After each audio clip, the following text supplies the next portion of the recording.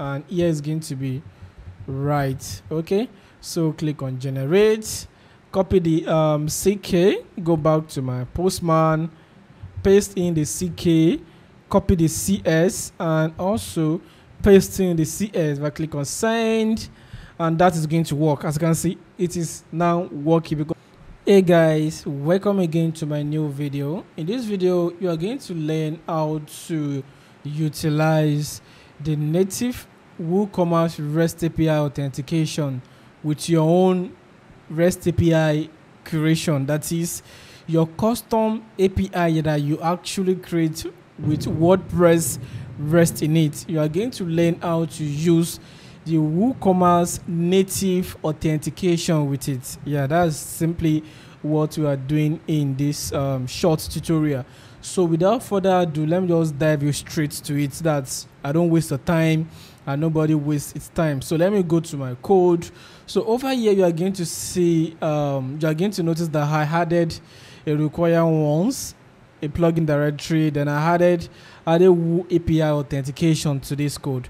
So now this plugin that I added as a require once file, it is very very important because I actually extend the native WooCommerce um, REST API authentication. I had to just copy and crack the entire code down. I you know I rework it to actually perform perfectly with our own pattern sure you get so we can actually use it on um, normal routes um, um, the OAuth formats and also other method that doesn't have to do with SSL sure you get.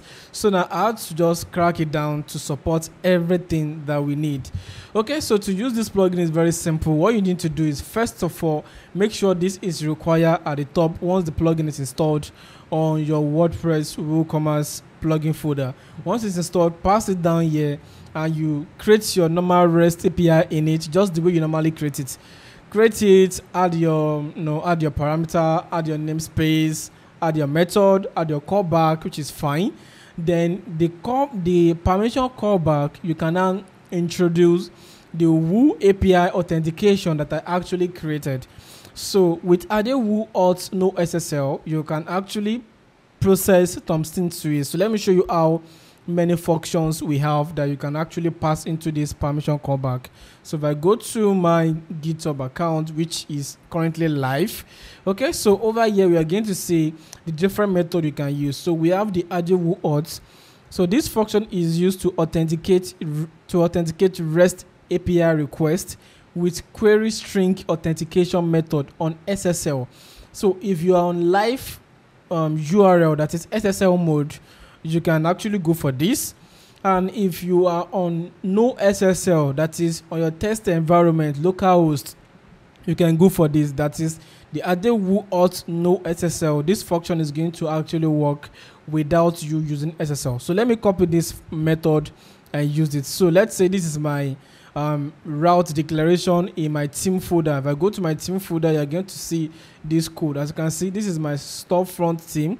And inside my storefront theme, I go to the word function.php where I need to pass the REST API.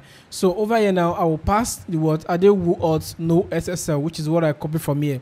So this auth no SSL is supposed to work with query string that is you pass a consumer key and consumer secrets directly to query string and is going to automatically do the processes okay? And also the method that is used to actually process the authentication. So it's going to work basically native just the way woocommerce um, authentication work natively. That's how it's going to work. So you don't need to actually stress yourself. So let's say this part is done. What i'm going to do now is to use it to try it out okay? So over here now i have a little word so let me just change this to testing my API with WooCommerce auth. Okay, testing with WooCommerce auth. So let me click on save. So previously, I already had consumer key and consumer secrets. So what I'm going to do now is I'm going to try to access this page without consumer key or consumer secrets. So if I click on enter, is going to actually give an error. Consumer key is invalid. That's because it's not being passed okay? But in the case in the situation whereby you use other um, SSL mode is going to give an error that okay you need to actually sign in to use it. But I will advise you if you're on localhost use no SSL which is very very fine and working amazing. But if you're on live you can use the one with SSL okay? So now let's now go to the WooCommerce settings and let's add a new key so if I add a new key now the key that I need to add here now must be um, must be the one that's actually processed from here. Either read write or read write. You know we have read we have write we have read write. So if it's read write that's both post and get. But if just write that's post. And if you just read that's just read it reading only. And you can use post request. So if i generate for this read only and i copy this um, ck so to use the ck i will need to actually pass my consumer key. So let me copy this consumer key um, paste it here. So in case you are wondering what i use for the consumer key it is c-o-n-s-u-m-e-r underscore k-e-y consumer key.